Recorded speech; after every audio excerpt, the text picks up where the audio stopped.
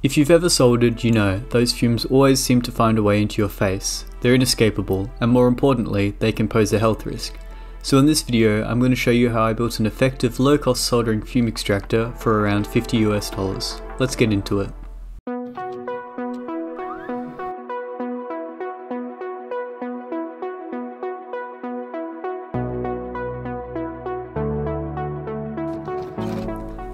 There are a few types of fume extractors out there. The first type recirculates the air through a carbon or HEPA filter, then pushes it back into the room. These work, but the filters don't last forever, and cheaper models often struggle due to the airflow resistance the filters create.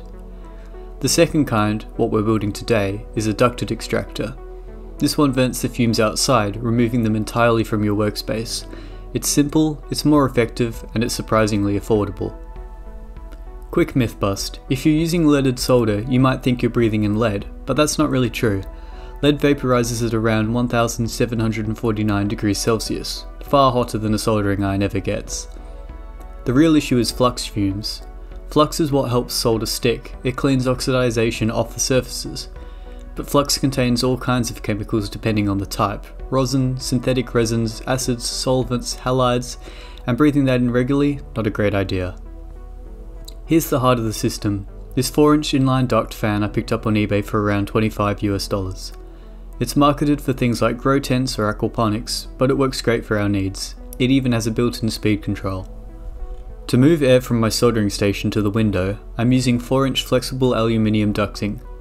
This roll cost under 10 US dollars for around 7.5 meters on AliExpress and has a PVC outer liner for durability. One of the big advantages of ducting is that it compresses when you're not using it, reducing the storage space. Before we get into the build, big thanks to JLC PCB for sponsoring this video.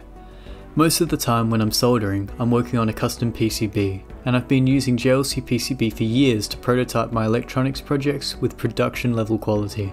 Ordering from them is super straightforward, even for beginners. You just upload your Gerber files, select from a wide range of base materials, solder mask colors, and board thicknesses, and they handle the rest automatically. The turnaround is fast and their tracking keeps you in the loop. They also offer 3D printing and CNC machining, which makes them a one-stop shop for all kinds of electronics builds.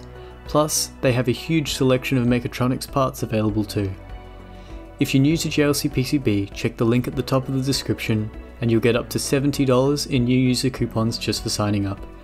Thanks again to JLCPCB for supporting independent makers like me. Now let's get back into the build. At the inlet, I designed a 3D printed flange to keep the ducting rigid and to help direct airflow. It sits near the soldering iron and acts like a little hood to suck in fumes. I designed this in Fusion 360 and I'll leave the STL in the description.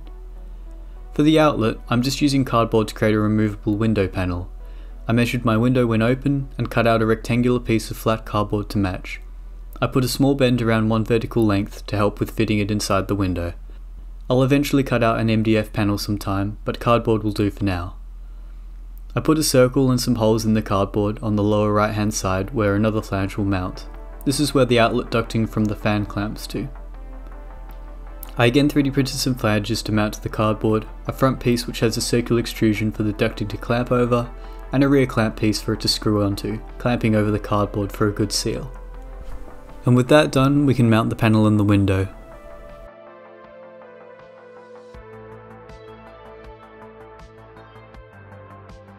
If you don't have access to a 3D printer, you can buy inexpensive plastic flanges from AliExpress for connecting to the window.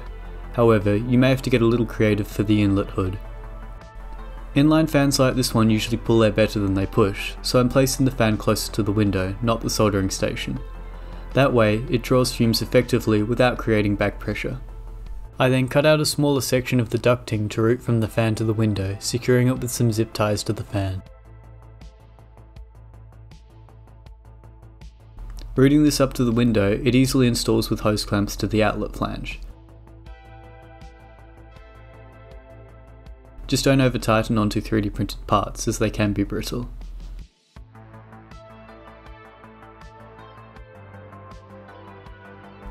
I then ran the remaining longer section of ducting along the wall to the fan inlet and secured it with a few more zip ties. The hood can then be secured to the open end of the inlet ducting with a hose clamp.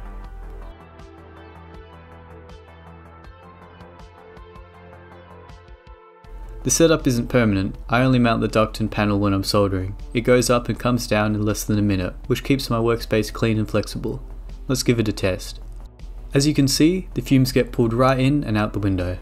It's quiet, it's powerful, and it cost me less than $50 total. You can scale this up or down depending on your needs, but this should suit most DIY electronics work just fine.